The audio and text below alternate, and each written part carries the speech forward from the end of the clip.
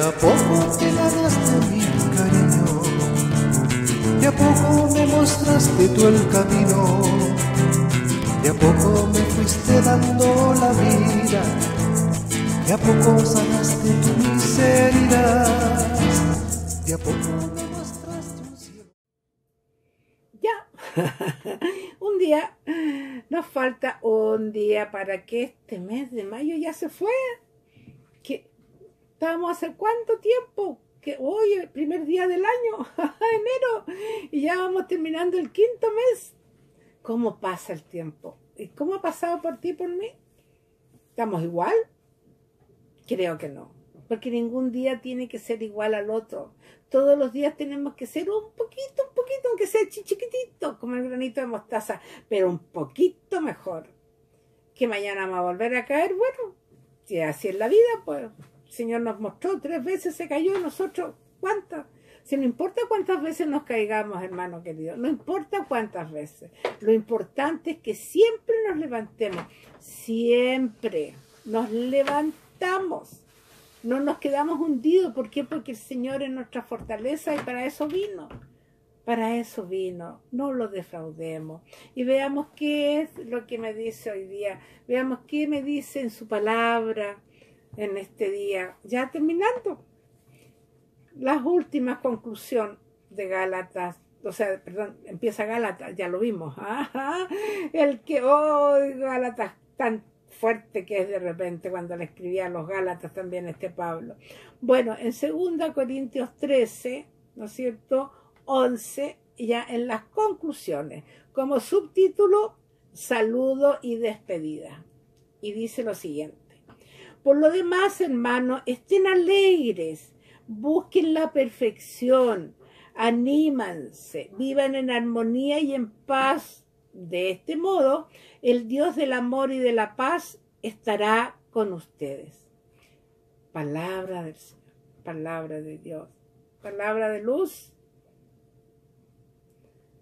Estén siempre alegres. En otra parte dice, estén siempre alegres, se los repito, porque saben que somos cabecita dura.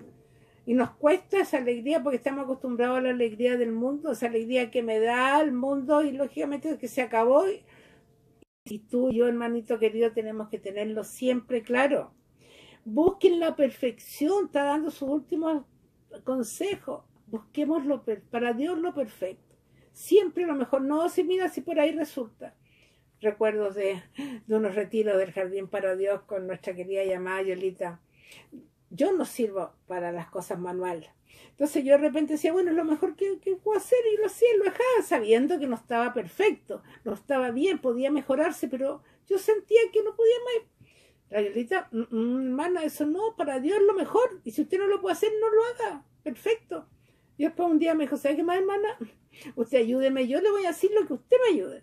Porque cuando usted se pone a hacer esas cositas, resulta que yo en la noche, cuando ya voy a poner las cajas para llevarle al retiro, no puede ser y ella está a 3, 4 de la mañana haciendo de nuevo lo que uno había hecho bien, pero no lo suficiente para el Señor. Tan marcado que queda. Dentro de lo que tú puedas, lo mejor para el Señor, lo mejor, no hay lo que sea. Por eso dice, perfeccionarnos por el amor del Señor. Anímense. Si la persona está decaída, no, bueno, es así. No, vamos adelante. No, no vamos si el Señor te quiere te quiere alegre, te quiere, vamos, esto va a pasar. El vino, Dios la vida por ti, vamos, vamos. El Señor va a poner palabras en tu boca. Vivan en armonía y en paz.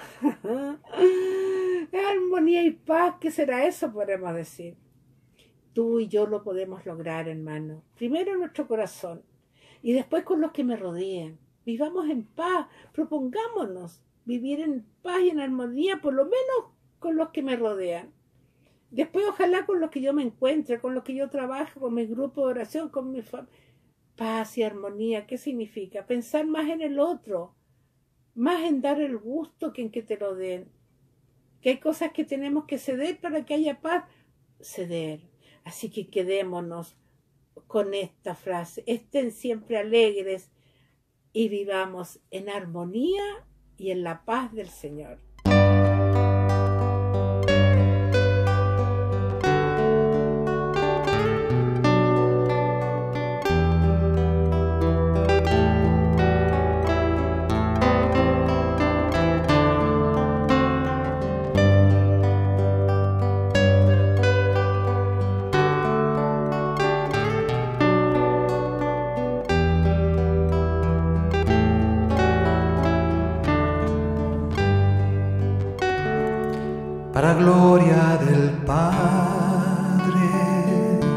Para gloria del Hijo, para gloria del Santo Espíritu de Dios, es mi canción, para gloria del Padre, para gloria del Hijo, para gloria del Santo Espíritu de Dios, es mi canción,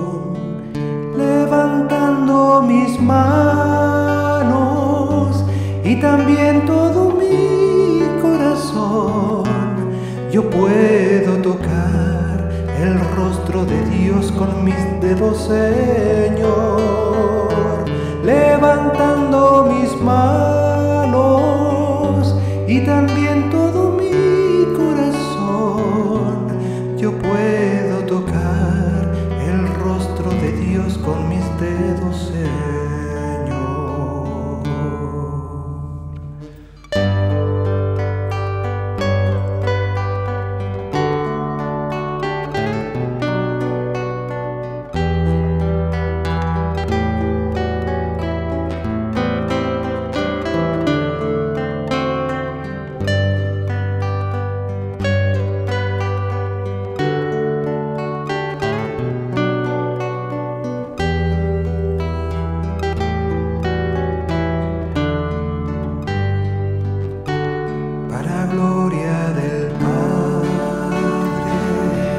para gloria del Hijo, para gloria del Espíritu